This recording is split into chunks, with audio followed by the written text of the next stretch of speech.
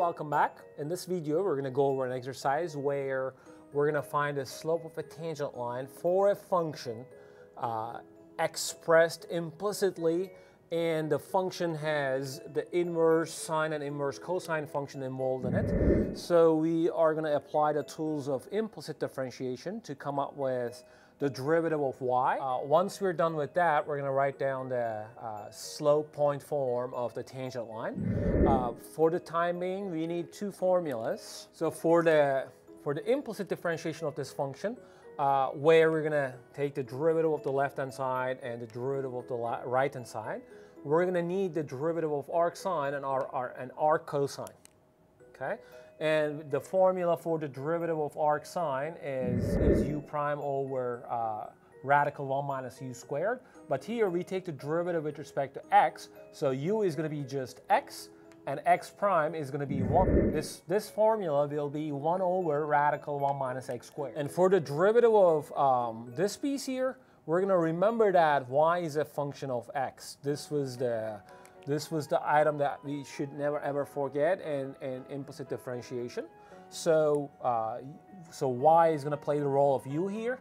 So the derivative of arc cosine y is going to be minus y prime divided by radical 1 minus y squared. And remember, we were looking for y prime evaluated at this x and y. So that's why we have to keep that forward. As a first step of implicit differentiation, we take the derivative of the left-hand side and the derivative of right-hand side of the equation. And the derivative of the left-hand side is the sum of the derivatives of each piece here. And the derivative of the right-hand side is the derivative of a constant because pi is a constant which is 314 and, and with, with all the decimal places.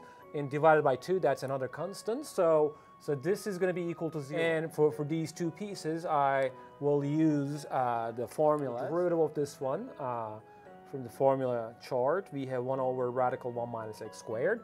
And the derivative of this is minus, uh, minus y prime divided by 1 minus y squared. Again, we keep in mind that y is a function of x in implicit differentiation. All right, the next task in implicit differentiation is to solve this equation for y prime. To achieve that, we add this term uh, to the both sides of the equation.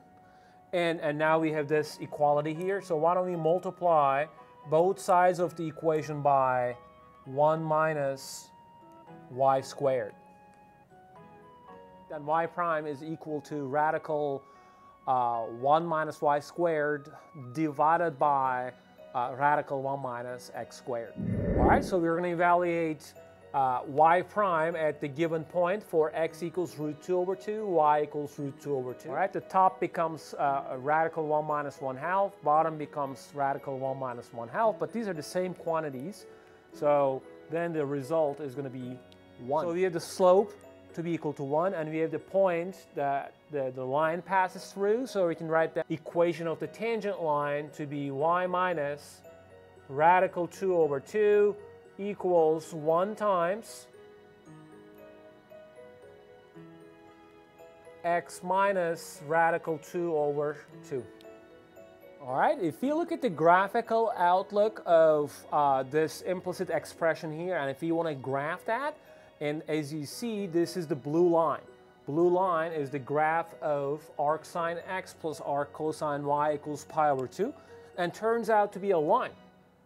And, and in fact, we're trying to find a, uh, we're trying to find the equation of the tangent line to the blue line at this point, and that should be the exact same line, but written written explicitly. So it's, it's a very interesting observation here that the implicit form uh, of y equals x is exactly equal to this.